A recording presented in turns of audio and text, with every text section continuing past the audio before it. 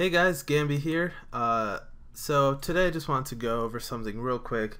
For those of you that know, I use a Blue Snowball microphone.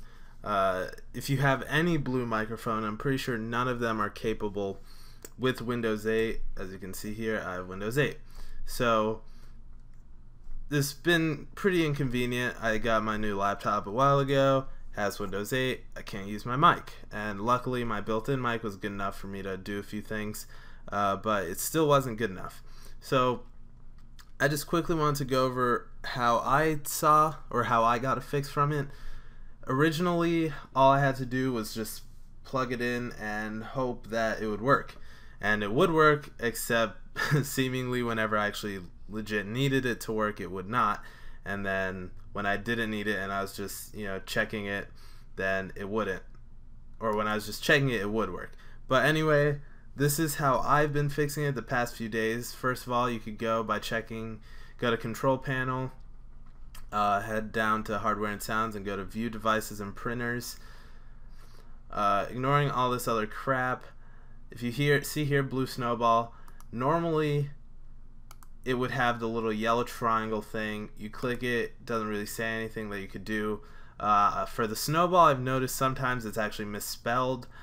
Um, so I don't really know what the deal with that is. But basically, it doesn't work.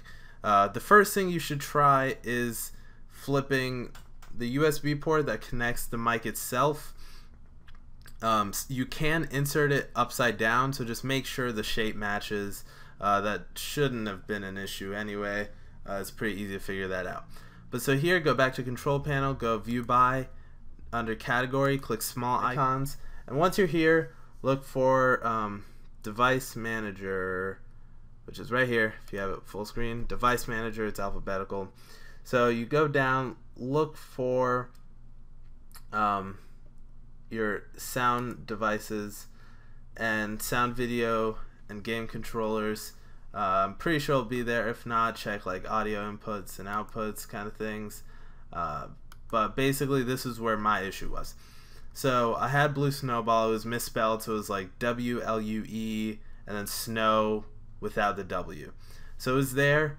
All you do is simply right click it and click uninstall. Once you uninstall it, it's gone. It's not there. The mic's still going to be lit up because it runs off battery power from your laptop. Then you just unplug the USB port from your laptop or desktop, whatever you have plugged into, and then take the cord out of the mic. So everything is separated. Wait you know a few seconds just to be safe. Wait like 10 20 seconds. And then plug the um, USB port back into the mic.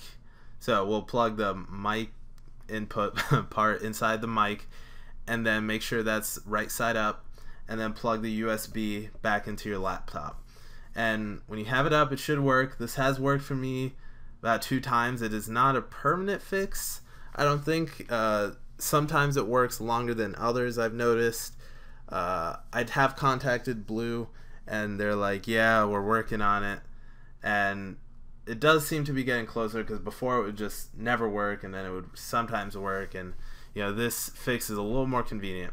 So I hope that helps you guys. If you have any more questions, let me know. But anyway, that's it for this video. Thanks for watching.